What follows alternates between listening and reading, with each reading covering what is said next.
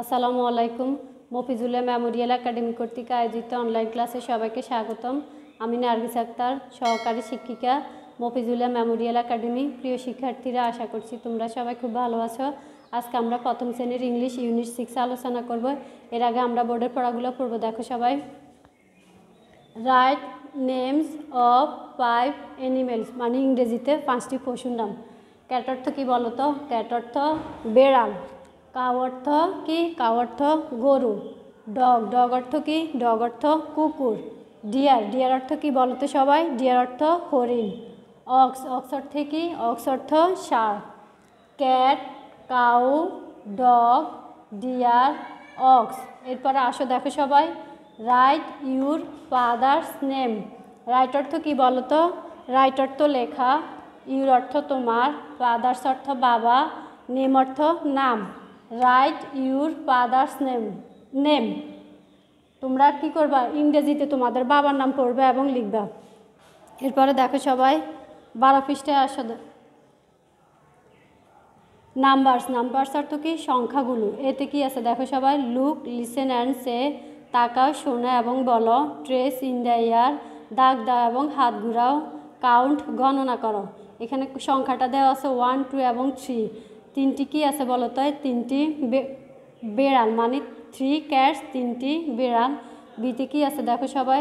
Say and it বলো এবং পড়ো ট্রেস অ্যান্ড রাইট দাগ দেওয়া এবং লিখো। এখানে অনেকগুলো ঘর আছে। প্রথম ঘরে কি দেওয়া আছে? থ্রি থ্রিতে তোমরা যখন হাত ঘুরাবে, হাত ঘুরানোর পরে খালি ঘরে থ্রি সংখ্যাটা লিখে যাবা। এরপরে দেওয়া আছে ওয়ান টু থ্রি এরপরে দেওয়া আছে ওয়ান টু এরপরে থ্রিটা দেওয়া না এখানে আন্ডারলাইন দেওয়া আছে আন্ডারলাইনে তোমরা কি লিখবে? থ্রিটা লিখে যাবে, এরপর আবার তিনটা আন্ডারলাইন দেওয়া আছে ওয়ান টু থ্রি থ্রি সংখ্যাগুলো লিখে যাবে। এরপরে দেখো সিতে আছে কি? কাউন্ট গণনা করা ট্রেস অ্যান্ড রাইট দাগ দেওয়া এবং লিখো। এখানে কয়টা অ্যান্ডস আসছে দেখো স্যার ওয়ান টু থ্রি মানে থ্রি অ্যান্ডস একের অধিক হলে একটা এস যুক্ত হবে, ঠিক আছে? থ্রি অ্যান্ডস তিনটি পিঁপড়া।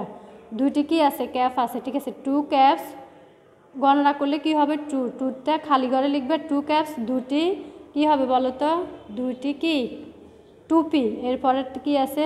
থ্রি বলস থ্রিটা খালি ঘরে লিখবা।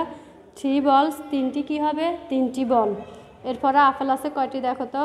দুইটি টু অ্যাপলস দুইটি আপেল।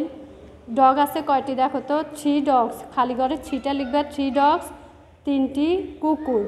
এরপরে ক্যাট কয়টি ক্যাট আছে? একটি। তাহলে খালি ঘরে কি লিখবা? ওয়ান। ওয়ান ক্যাট, একটি কি হবে? বেড়াল। এরপরে তেরো পৃষ্ঠে আসো। অ্যালফাবেট। অ্যালফাবেট অর্থ কি? বর্ণমালা। এতে কি আছে দেখো সবাই? লুক, লিসেন অ্যান্ড সে, তাকাও, শোনো এবং বলো। ট্রেস, ইন দ্য ইয়ার দাগ দাও এবং হাত ঘুরাও। এরপরে দেখো, ই ফর কী বলো তো? ই ফর এলিফেন্ট এলিফেন্ট অর্থ কি? এলিফেন্ট অর্থ হাতি। ই ফর এগ এগ অর্থ ডিম। বিতে আছে সে অ্যান্ড ডিড বলো এবং পড়ো, ট্রেস অ্যান্ড রাইট, দাগ দাও এবং লিখো। এখানে উপরের ঘর, মাঝের ঘর এবং নিচের ঘর, ঠিক আছে, দেওয়া আছে।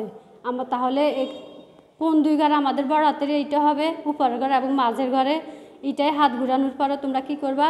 খালি জায়গায় ইটা ফাঁক ফাঁক করে লিখে যাবে, এরপরে আবার নিচের ঘরে কি দেওয়া আছে? উপরের ঘর, মাঝের ঘর এবং নিচের ঘর। ছোটো হাতের ইটা কোথায় বসবে? মাঝের ঘরে। তাহলে ইটাই হাত ঘুরানোর পরে ফাঁক ফাঁক করে তোমরা কি করবা? ইটা লিখে যাবা। এরপরে দেখো, তোমাদের বাড়ির বাড়ির কাজ থাকবে কি? তোমরা আগে পড়বা কি বারো এবং তেরো পৃষ্ঠে ভালোভাবে পড়বা। পড়ানোর পরে বোর্ডের কাজগুলো তোমাদের বাড়ির কাজ থাকবে। তাহলে এই পর্যন্ত। আল্লাহ হাফেজ। সবাই ভালো থাকবে।